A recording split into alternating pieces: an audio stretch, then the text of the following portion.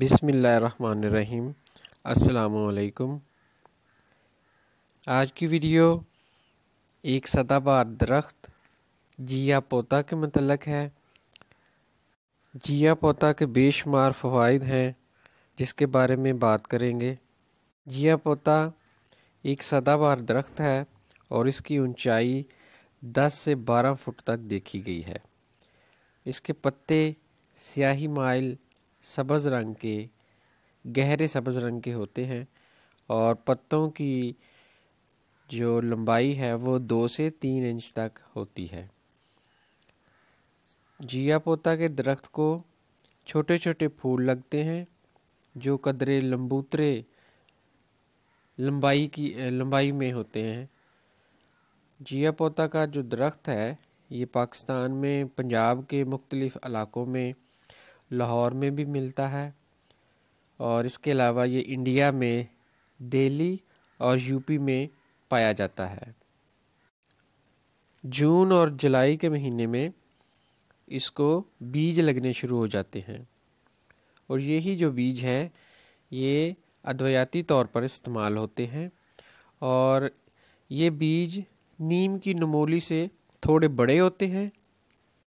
شروع میں یہ سبز رنگ کے ہوتے ہیں اور ان کو ادویاتی طور پر استعمال کرنے کے لیے ان کو پودے سے الگ کر لیا جاتا ہے اور ان کو خشک ہونے کے لیے رکھ دیا جاتا ہے۔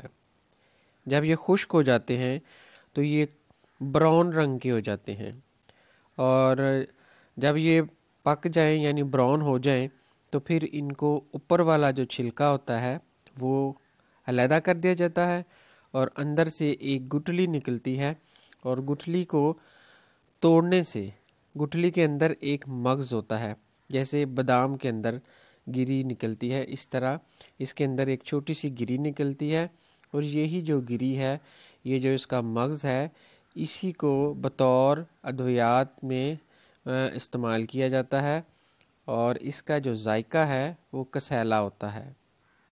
جیا پوتا مزاج کے حساب سے ٹھنڈا، ایک ٹھنڈا پل ہے یعنی یہ سرد مزاج کا ہوتا ہے، اس میں گرمی نہیں پائی جاتی۔ اور اس کی جو مقدار خوراک ہے، وہ دو سے تین گرام تک ہے۔ یعنی دو سے تین گرام تک فی خوراک، اس کا مغز مغز کا پاؤڈر آپ استعمال کر سکتے ہیں۔ جیا پوتا کے مغز کا سب سے بڑا فائدہ اور سب سے زیادہ استعمال اس صورت میں ہوتا ہے کہ جن مردوں کے مردوں میں سپرم کاؤنٹ کم ہوتا ہے۔ یعنی ان کے سیمن میں سپرم کی مقدار کم ہو تو ایزو سپرمیا کے کیس میں اس کے مغز کا صفوف استعمال کیا جاتا ہے۔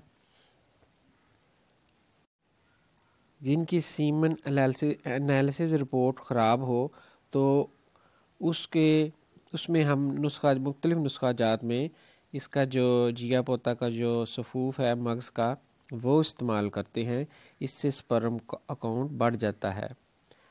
اولاد نہ ہونے کی صورت میں مردوں میں بھی یہ استعمال کرایا جاتا ہے اور عورتوں میں بھی استعمال کرایا جاتا ہے۔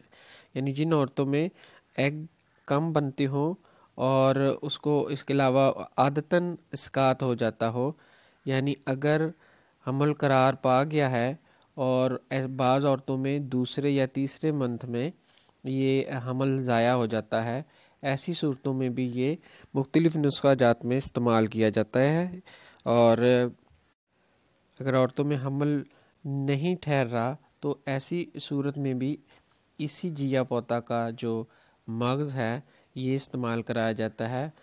علامت کے حساب سے اور مختلف نسخہ جات میں یہ استعمال کیا جاتا ہے۔ یعنی مردوں اور عورتوں میں اگر اولاد نہیں ہو رہی تو دونوں صورتوں میں دونوں کی رپورٹس دیکھ کر اور علامت لے کر یہی پاؤڈر مختلف نسخہ جات میں استعمال کیا جاتا ہے۔ اکیلا بھی الگ دو سے تین گرام لینے سے ان امراض میں فائدہ ہوتا ہے۔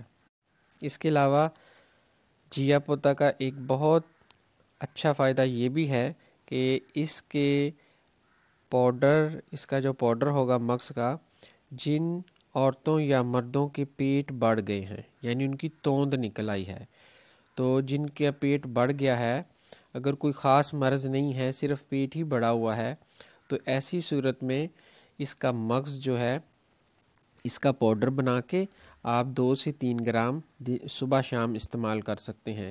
لیکن جن کے پیٹ چربی کی وجہ سے بڑا یعنی بہت زیادہ چربی ہے اور ان کا جسم ٹھوس ہے ایسی صورت میں اس سے فائدہ نہیں ہوگا، یہ اسی صورت میں فائدہ ہوگا جب پیٹ تو بڑا ہوا لیکن ایسے جن مریضوں کے جگر میں گرمی ہے اور ان کی انتڑیوں میں ہلکی سوزش ہے اور جسم گرمی کی شدت سے موٹا ہو گیا ہے، پیٹ گرمی کی شدت سے بڑا ہوا ہے، ایسی صورت میں اس کے کھانے سے ان کا پیٹ کا سائز کم ہونا شروع ہو جاتا ہے کیونکہ یہ ایک ٹھنڈا پھل ہے۔ اور اس کا مزاج بھی سرد ہے یہ تبھی فائدہ ہوگا۔ اگر پہلے ہی چربی کے باعث اور جسم ٹھوس ہے اور چربی زیادہ ہے، ایسی صورت میں اس کے کھانے سے پیٹ کم نہیں ہوگا۔ یہ آپ کو اپنے مولد سے مشورہ اور تشخیص کروا کے ہی استعمال کرنا ہوگا۔ اس کے علاوہ، تیسرا فائدہ اس کا یہ بھی ہے کہ اسکن الرجی میں خارش، جسم پر تپھڑوں کا پڑ جانا، ایسی صورت میں بھی اس کے بیجوں کا صفوف پاؤڈر بنا کر اس کا پیسٹ پانی میں ملا بنا کر وہ خارش والی یا تھپڑ والی جگہ پر لگانے سے اس کو سکون مل جاتا ہے، آرام آ جاتا ہے۔ اس کے علاوہ اس کے پتوں کا پیسٹ پانی کی مدد سے بنا کر جلن والی جگہ پر لگانے سے بھی آرام ملتا ہے۔ اگر اس کا پاؤڈر، مغز کا پاؤڈر نہ ملے تو وقتی طور پر اس کا آپ پتوں کو جیسے چٹنی بناتے ہیں، اس طرح بنا کر تو وہ آپ جہاں پہ جلن ہو رہی ہے سکن میں، وہاں پہ لگانے سے بھی آرام ملتا ہے۔ اس کے علاوہ اس کا جو مغز ہے، یہ مختلف اس کی مالائیں بھی بنائی جاتی ہیں۔ آپ نے دیکھا ہوگا کہ اکثر سادھو لوگ جو پھر رہے ہوتے ہیں، انہوں نے گلے میں مالائیں پہنی ہوتی ہیں۔ اور وہ جو مالا ہے، ان میں سے ایک مالا یہ جیا پوتا کے جو بیج ہیں، ان کے درمیان میں سے جب وہ کچے ہوتے ہیں، تو ان کے درمیان میں سے وہ سوئی کی مدد سے سوراخ کر لیتے ہیں اور پھر اس میں سے دھاگا پروتے پرو کر ایک تسبیح کی صورت جیسے مالا ہوتی ہے، ویسے بنا لیتے ہیں۔ اور جب وہ خشک ہو جاتے ہیں، تو وہ پھر پھر وہ پہن لیتے ہیں۔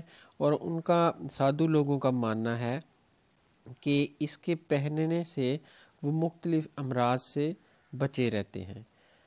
اب اس میں کہاں تک صداقت ہے؟